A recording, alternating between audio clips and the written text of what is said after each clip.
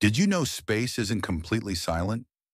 NASA has recorded chilling, ghost-like sounds from planets, stars, and even black holes, and they're eerier than you think. Space is silent to our ears, but planets, stars, and even black holes give off radio waves, plasma waves, and magnetic vibrations. NASA spacecraft like Voyager, Cassini, and Juno have recorded these signals and converted them into sounds we can hear. Some are deep rumbling hums, almost like growling.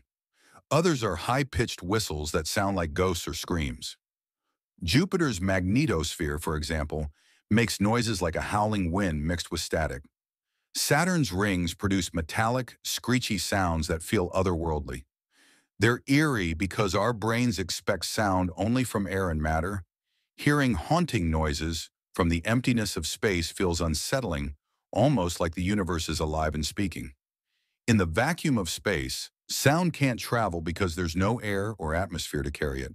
Sound needs a medium, like air, water, or metal, to travel through. Since space is a vacuum, there are no molecules to vibrate, so sound waves can't move. Astronauts use radios and headsets to talk in space. Their voices are turned into radio waves, which can travel through the vacuum.